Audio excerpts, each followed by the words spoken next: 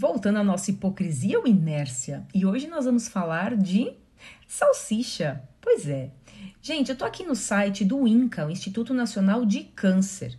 É, eu já fiz um vídeo falando sobre salsicha, se quiser vou deixar aqui na descrição desse vídeo, é, falando sobre os absurdos que é consumir esse tipo de produto alimentício. Mas aqui eu tô no site do INCA e eu quero ler um trecho.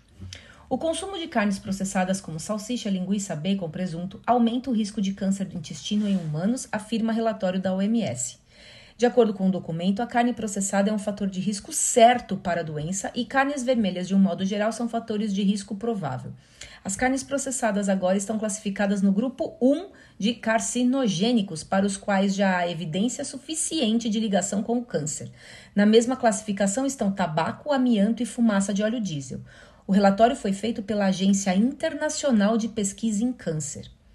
Você ciente de todos esses malefícios, você vai continuar consumindo esses produtos alimentícios e pior, oferecendo isso para as crianças ou você vai banir isso da sua casa e do seu carrinho de mercado?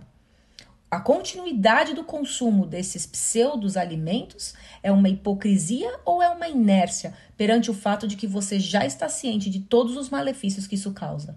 Hum?